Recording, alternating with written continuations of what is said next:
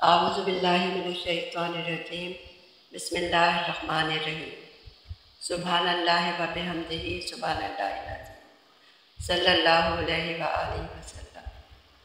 प्यारी बहनों, जैसा कि मैंने पिछली वीडियो में छोटी बच्चियों के बारे में आपको मशवरा दिया था, उम्मीद है कि आपने वीडियो देखी होगी और इससे इस्तेफादा हासिल किया होगा। आज मैं आपको आपकी बड़ी बच्चियों के बारे में मशवरा दूँगी। उम्मीद है इसको भी आप गौर से सुनेंगी। आपकी बच्चियाँ जब बड़ी हो जाए तो उनके साथ आपको, जैसे लड़कों के बारे में मैंने बताया था कि औलाद के साथ पूरा इन्वॉल्व होना पड़ता है। अपनी सारी जो आपकी तवज्जो है, वो बच्चियों की तरफ़ होनी चाहिए, क्योंकि बच्चियों को दूसरे घर जाना होता है। उनकी तरबियत पे आपको बहुत ज़्यादा ध्यान देना होगा। आपकी बच्चियाँ जब बड़ी हो जाए तो उनको थोड़ा सा अपने साथ लगा ले घर के काम काज में। क्योंकि ये बच्चियों के लिए बहुत ज़रूरी होता है। आप उनको कैसे, जैसी आदत डालेंगी, उनकी आदत वैसे ही पड़ेगी। अगर आप उनको घर के काम काज की आदत नहीं डालेंगे तो उनको आदत नहीं हो सकेगी।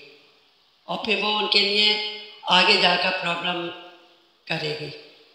तो प्लीज़ आप अपने बच्चियों को घर के काम काज में ज़रूर पार्टिसिपेट करवाएँ। चाहे छोटा मोटा हो क्योंकि उनकी तालीम का भी मसला होता है और और भी उनकी होती है मसरूफियात।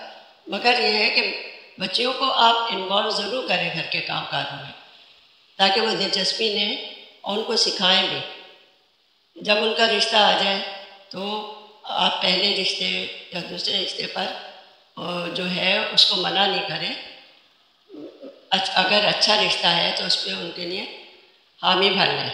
घर के काम काज में यही है कि आप उनको थोड़ा सा किचन का काम सिखाएँ कि जैसे आप हंडिया पका रही हैं तो उनको प्याज वगैरह उनको अपने सामने खड़ा कर लें। प्याज काटने बेटा इस तरह से ये जो है, हंडिया पकती है, इस तरह से इसको पूरा प्रोसीजर होता है, ये समझा दें। बेशक वो ना पकाएँ, पूरा आप ही पकाएँ, मगर उनको सिखाएँ ज़रूर। ये ना हो कि वो शादी होने जा रही है और उनको हांडी, रोटी और इस चीज़ से कोई सरोकार नहीं है, उन्हें आता नहीं। उनके लिए प्रॉब्लम हो सकती है। वो दूसरी जगह जाएँगी तो उनके लिए प्रॉब्लम होगी। बाकी दूसरा ये है कि उन्हें घर के काम काज में भी वो हो, उनको सफ़ाई की भी आदत डालें। आपके यहाँ मासी आती है, झाड़ू पोछा, बर्तन जो भी है। मगर आप उसको कभी कभार कहें, बेटा, तुम्हें सफ़ाई करनी है, तुम्हें झाड़ू पोछा करना है, तुम्हें ड्रेसिंग करनी है। सारी अपने जो है, अपने कमरे को, अपने घर को पूरा साफ़ सुथरा करें। वही जैसा कि मैं कह रही हूँ कि उनको बच्चियों को आदत हो जाएगी। कि हाँ हमें ये काम भी आता है। दूसरी बात यह है कि उनको इखलाक की भी वो सिखाए कि आपके घर में अगर कोई आया है तो ये नहीं कि बच्चियाँ अपने कमरों में बंद हो जाए, कोई मेहमान आया है, उसे उन्हें कोई सरोकार ही नहीं है। क्योंकि मेहमान जो आता है, वो अल्लाह की रहमत होती है। अभी तो वो आपके सामने वो चले जाएँगे, मगर घर जाकर वो कहते हैं, भाई इनकी बच्चियाँ तो बड़ी मकबूल थी। सामने तक सलाम तक नहीं करा हमें तो प्लीज़ आप उनको ये ज़रूर सिखाएँ अपने बच्चियों के आकर आंटी को सलाम करो फिर आप अपने काम में लग जाओ। और उन, उनसे कह जाओ बेटा चाय या शरबत को पूछो। उनको उनके हाथों से बच्चों को सर्व करना सिखाएँ कि जब मेहमान आए तो आप सर्व करें ताकि बच्चों के बारे में आने वाले जो मेहमान होंगे वो अच्छा तासर लेकर जाए। कि हाँ भाई ये बच्चे ने बगैर कहे हुए हम अपनी अम्मी के बगैर कहे हुए, हमें चाय पेश की या शरबत पेश किया तो एक अच्छा तासर होता है। और फिर ये बच्चे की अगर आदत पड़ जाती है तो वो सारी उम्र, इस इस उम्र में अगर अपने बच्चियों को अच्छी आदत डाल दी ना, आदत के बिहाफ पे उसकी ज़िंदगी होती है। अगर आपने उसको काम की आदत नहीं डाली, इखलाक नहीं सिखाया, उसको वो नहीं करा तो वो फिर उसकी पूरी ज़िंदगी पर इसका असर होता है। अभी आपके घर में है तो आप पूरी कोशिश करें। क्योंकि ये जो है बच्चे को दूसरे घर जाना होता है उसके लिए तरबियत लाजमी होती है। आप अच्छी तरबियत देंगी तो कल आपकी भी तारीफ़ होगी आपकी बच्ची की भी तारीफ़ होगी और वो दूसरों को भी सुकून देगी जाकर ससुराल में और अपने लिए भी सुकून का बाज बनेगी। आपकी तर, की हुई तरबियत। दूसरी बात यह है कि इखलाक सिखाएँ उसे। इखलाक ये है कि वो अपने जो बहन भाई हैं, अपने माँ बाप हैं और दूसरे लोग हैं, उनसे बहुत अच्छा बिहेवियर रखें। अगर वो यहाँ पर अपने बहन भाइयों से लड़ रही होगी चीखम पुकार करेगी या आपको बदतमीजी से जवाब देगी तो फिर उसकी आदत पड़ जाएगी यही वाली। वो फिर ससुराल में भी जाकर यही सारी आदतें अपनी जो है दोहराएगी क्योंकि आदत तो इंसान की नहीं जाती है। तो आप उसको बहुत ही प्यार से उससे लेकर चले, खुद भी उसके साथ नरमी करें, प्यार से बात करें। बच्चे आपसे ही सीखेंगे आपके जो रवैया है तो रवैये का जो होता है ताल्लुक, वो बहुत काउंट करता है। आप अपने बच्चों के साथ जितनी पढ़ाई रहेंगी, आपके बच्चों के अंदर वैसी पढ़ाईनेस आएगी। तो बरए मेहरबानी, उनके साथ सख्ती नहीं करें, उनको हर बात बड़े प्यार से, मोहब्बत के साथ उनको सिखाएँ, उनकी तरबियत करें और उनको इखलाक सिखाएँ। दूसरी बात यह है कि आजकल की जो नस्ल है, चाहे वो लड़की हो या लड़का हो, उनके अंदर जो बर्दाश्त की जो वो है, वो बहुत कम हो गई है। जैसे हम लोग अपने ज़माने में थे कि हमारे अंदर आजकल की नस्ल को हम देखते हैं और अपने आप को देखते हैं तो ज़मीन आसमान का फ़र्क नज़र आता है। हम अपने माँ बाप का, अपने बड़े बहन भाइयों का बड़ा अदब एहतराम करते थे और उनको हम पलट का जवाब नहीं देते थे। मगर आजकल के ज़माने में मैं ये देखती हूँ कि चाहे वो लड़का हो या लड़की हो तो उसके जहन में वो चीज़ है ही नहीं कि यह हमारा बड़ा है या हमें उसके साथ किस तरह से पेश आना है। बड़ों को भी चाहिए कि वो छोटे के साथ जो है नरमी इख्तियार करें। मगर छोटे को आप ये अदब सिखाएँ कि बेटा तुम्हें दूसरे घर जाना है तुम यहाँ तड़ाक पड़ाक करोगी तो वहाँ पर भी तुम्हारे तुम्हारी ज़बान नहीं रुकेगी। तुम्हें अपनी ज़बान को बिल्कुल कंट्रोल करना है। क्योंकि एक चुप सौ को हराता है ये आप उसको सिखाएँ। तुम खामोशी की आदत डालो और आ, अगर उस बच्चे की शादी होने वाली है तो उसके लिए खसूस आप उसकी जो है ट्रेनिंग शुरू कर दें। ताकि वो इन चीज़ों को अपने अंदर जो है, याद रखें कि मुझे जाकर इन सारी चीज़ों पर अमल करना है। हमारे यहाँ जो है ना, तरबियत का बहुत ज़्यादा फुकदान है। हम लोग बस कहते हैं कि जैसे पल रहा है, बस पल रही है। लड़का है, लड़की है, जिस तरह से भी है, अपने में इन्वॉल्व है। तरबियत पे बहुत ज़्यादा ज़ोर दें। आजकल जो इतना बिगाड़ है, घर के अंदर से अगर आप तरबियत करेंगी तो आप माशरा भी सुधरेगा और आपके बच्चे भी और आप भी चैन सुकून से रहेंगे। तो इसमें माँ का किरदार जो है वो सबसे अवलिन रखता है दर्जा। आप यही कोशिश करें कि मैं अपने बच्चे को ऐसा बनाऊँ कि मेरे बच्चे की वजह से मेरी भी तारीफ़ हो। देखो कितनी प्यारी बच्ची है, कितना इसको अदब है, कितना अच्छा इसका इखलाक है, कितनी इसके अंदर बर्दाश्त है। ये सारी खूबियाँ आप उसके अंदर जो है पैदा करने की कोशिश करें। ये बच्चा तो एक तरह से बिल्कुल खाली बर्तन होता है। आप उसके अंदर जो भी भरेंगे, वो उसके अंदर भर जाएगा। आप कोशिश यही करें कि बच्चों को अपने बहुत अच्छी तरबियत दें। अल्लाह इनके नसीब अच्छे करें और बस यही वो होता है कि जैसे माँ बाप की यही कोशिश होती है कि हमारी बच्ची हम दूसरे घर जा रही है। वह खुश खुरम रहे। मगर आपको भी थोड़ी सी कोशिश करनी होगी कि मेरी बच्ची जो है वो दूस, दूसरों को भी खुश करे। और बच्चे को भी चाहिए कि जैसे वो अपने घर में अपने माँ बाप को अपने बहन भाइयों को और दूसरे लोगों को अहमियत देती है तो ससुराल जाकर भी उसको उसी तरह से अहमियत देनी होगी। सा माँ सास ससुर को अपने माँ बाप के बराबर दर्जा दे। जो देवर हैं जेठ हैं उनको अपने भाइयों की तरह से छोटे बच्चे हैं तो उनको छोटे बहन भाइयों की तरह से वो करें। तो ये इखलाक जो है उसको आप सिखाएँगे तो इन ताला कोई प्रॉब्लम नहीं होगी। देखिए, इखलाक और मीठी बात ऐसी है ना कि दिल मोम कर देता है दूसरे का। अगर कोई सख्त रवैया भी कर रहा है बच्ची के साथ, मगर वो ये देखेंगे कि बच्ची आने वाली इतने प्यारे अखलाक की है, बर्दाश्त वाली है तो वो जो उनका सख्त रवैया होगा वो खुद ही नरमी की तरफ़ माइल होंगी।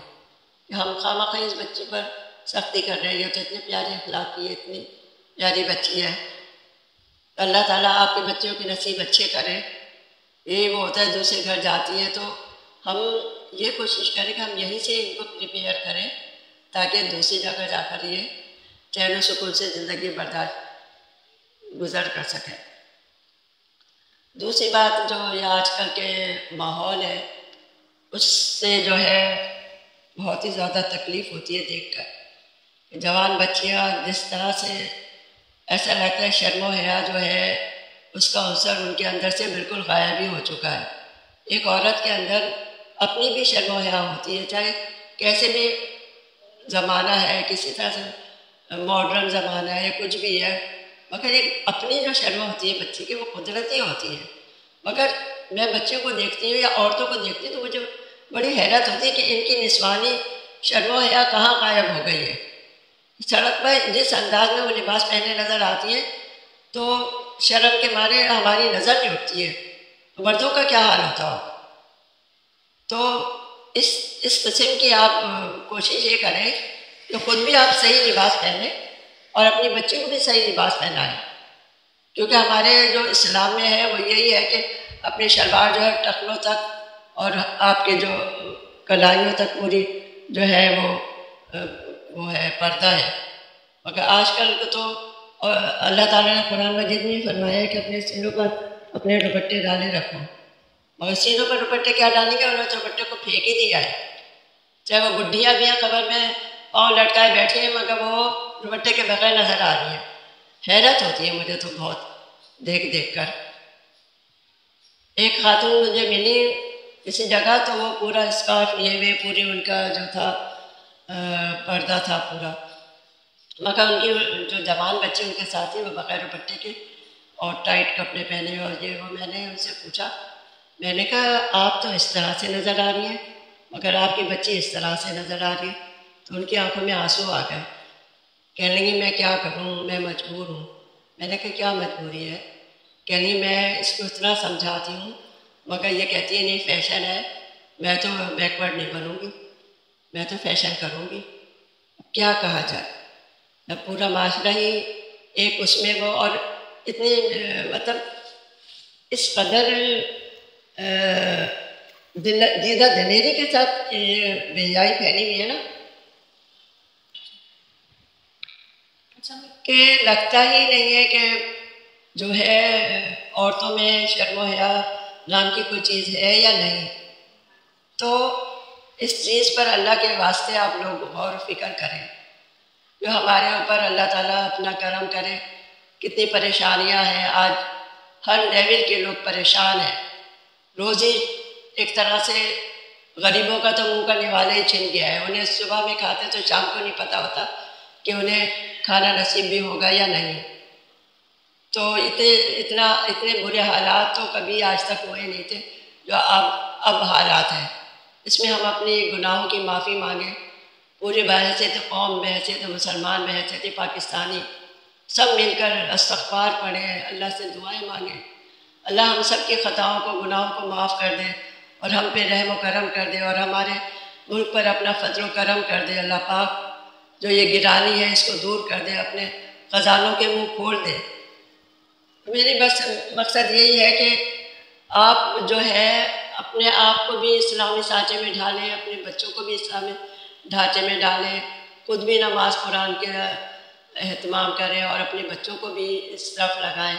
उनको मैंने आपको पहले भी वीडियो में बताया था, बचपने से अपने साथ जाना नमाज़ पर बच्ची को नमाज़ के लिए खड़ी करेंगी तो वो आपको फिर सारी ज़िंदगी उससे नमाज़ का नहीं पूछना पड़ेगा, उसको ऐसी आदत पड़ेगी कि वो खुद ब खुद ही पड़ेगी बचपने की जो जो जो आता थे आपने बच्चों को डाली होगी, वो बच्चा कहीं या बच्ची कहीं भी चली जाए, वो उसी पर ढल जाता है।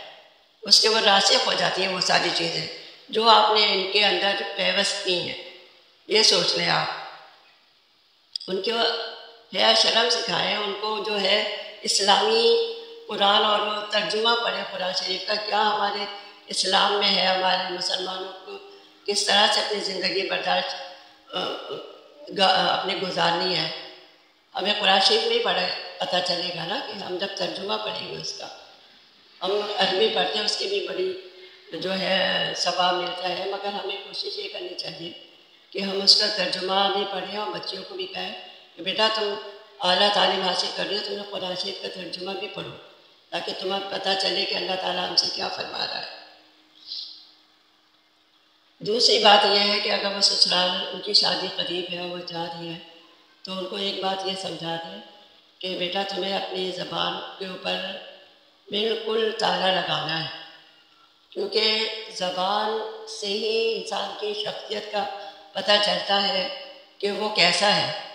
हम अपने बोलने के स्टाइल से ही हमारा पूरा बैकग्राउंड पता चल जाता है।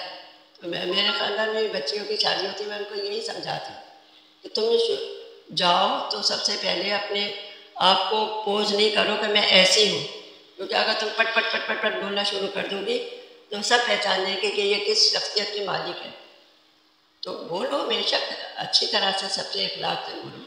मगर फ़ौर ही जाकर जो है ना, अपनी ज़बान को फ़ौर तरह से ताला लगाओ। खामोश रहो। तो बस और मैं क्या वो करूँ?